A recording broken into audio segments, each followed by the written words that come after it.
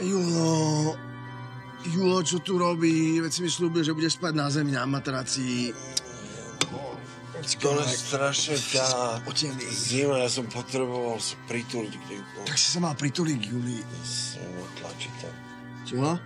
Že sa s ňou nebudem tlačiť. Hej, hej, so mnou sa môžeš tlačiť. Hej. Choď ďalej. Dobré ráno. Ako... To čo je za príšerný hluk toto? To je farárov, príjemný budiček, si zvykaj. Na toto sa dá zvyknúť, áno? Mm.